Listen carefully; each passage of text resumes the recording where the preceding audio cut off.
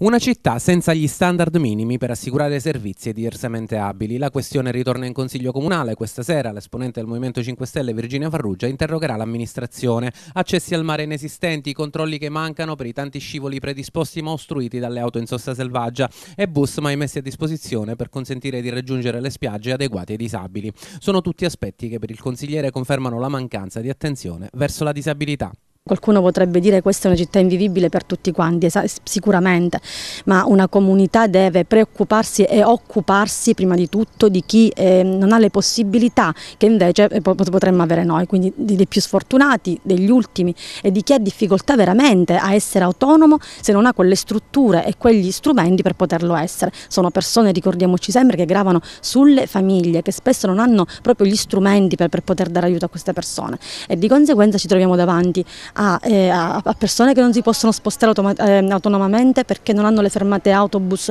adeguate, eppure cosa, cosa si è fatto per questo Gerry? Tantissime cose, anche io ho fatto interrogazioni, mozioni sul tema, ho fatto un servizio, ma nulla si è mosso. La Farrugia ritorna anche sulla mancata attivazione dei piani assistenziali individuali che garantirebbero dei fondi per le esigenze dei diversamente abili e li aiuterebbero a vivere con maggiore dignità eh, da anni eh, discutiamo e parliamo dei piani individuali assistenziali che oltretutto permetterebbero al Comune di, di ricevere dei fondi dalla Regione proprio per i singoli eh, disabili, quindi per, per, poter dare una mano alle famiglie e agli, agli stessi disabili. E, ehm, di, di, nuovo siamo in piena estate e ancora non si sente parlare di, di alcun tipo di struttura eh, legata ai lidi e quindi alla capacità eh, di poter far svagare anche, anche queste persone, perché ricordiamoci ricordiamoci che il dovere di un'amministrazione, di un comune non può solo essere quello di garantire loro le, le terapie o il trasporto per le terapie, perché queste persone sono persone come noi, così come a noi piace andare al cinema, andare in palestra, andare al mare, anche a queste persone va, va garantito tutto questo. Un emblema forse della invivibilità per un disabile della città è proprio Palazzo di Città, dove il settore servizi sociali si trova in un edificio non raggiungibile dalle, dalle carrozzelle, dove l'ufficio anagrafe eh, non è raggiungibile se non attraverso una scala e dove l'ascensore per i disabili è perennemente fuori uso.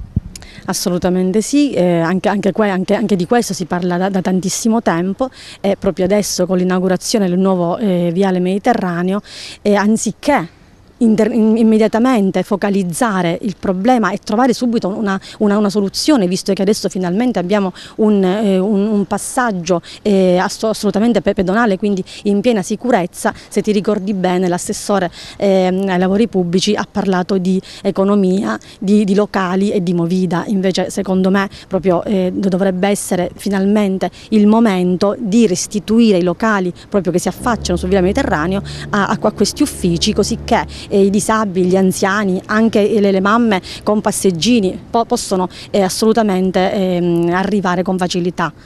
Al sindaco e alla giunta sarà chiesto quali interventi sono in programma per superare queste criticità. Ormai da tempo anche le associazioni a tutela dei diversamente abili premono affinché si assicurino veri servizi, ma secondo il consigliere Grillino il vero problema è sociale e soprattutto culturale. Denunciamo che l'amministrazione non, non, ha abbastanza sensibilità, che l'amministrazione non si è occupata di tutto questo, ma è anche la comunità che non, che non se ne preoccupa perché comunque eh, ancora oggi eh, io eh, mi, mi, mi, sento, eh, sento lamentele eh, da, da parte di questi questi disabili in carrozzina che non sono liberi di muoversi sulle banchine in sicurezza perché puntualmente davanti agli scivoli ci sono posteggiate le macchine e purtroppo non c'è alcun tipo di controllo sul territorio, non vengono levate multe e sanzioni e c'è un'anarchia totale, ma non è più possibile oggi eh, che non ci sia ancora la la, la, la, cultura verso l'altro e, e di conseguenza siamo davanti a una sosta selvaggia, un'inciviltà totale.